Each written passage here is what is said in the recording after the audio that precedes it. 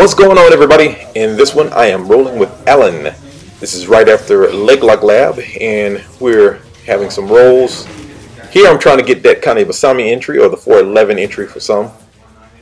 He dives over usually when you try to go under his legs and tries to get a guillotine or uh, set up for a guillotine.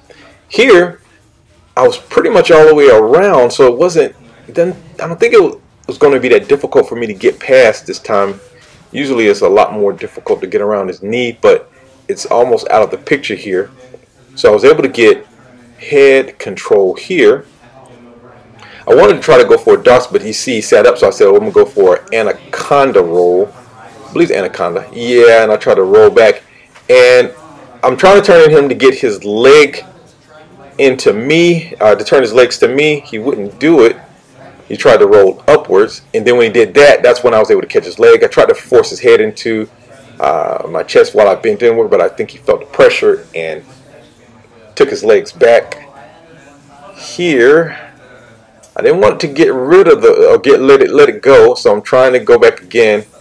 And this time he went to his knees, tried to roll out, and he did. All right, so start again. Lock up. He settles down, goes for a leg. And I want to give a shout out to Rollvids. He gave me that tip about cradling the head when trying to pass the half guard. He has a great page, Rollvids. Check out his channel. So we now the thing when he was trying to shoot a, a, single leg, I wanted to try to go for one too. So okay, I'm trying to link up.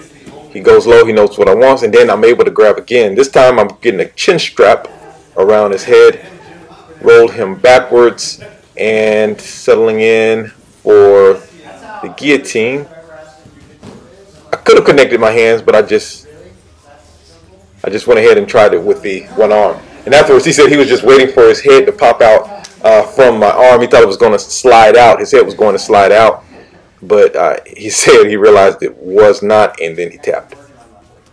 Okay, so you can see I'm still going for that same move. I'm trying to get up on my shoulders. Not doing a great job of that and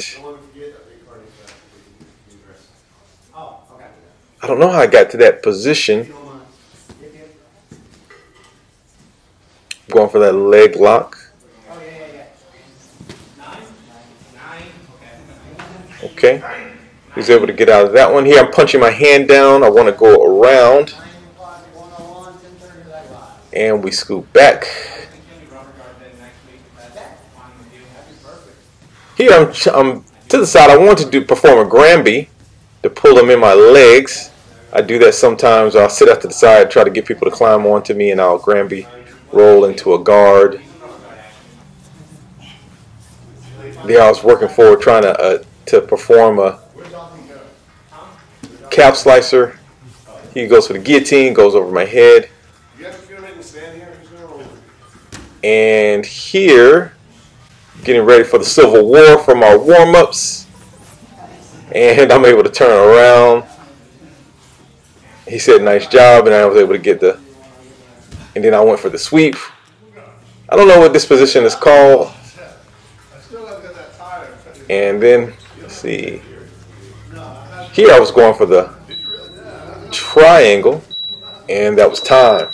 All right, thanks guys for watching. As always, don't forget to like and subscribe. And until next time, Peace.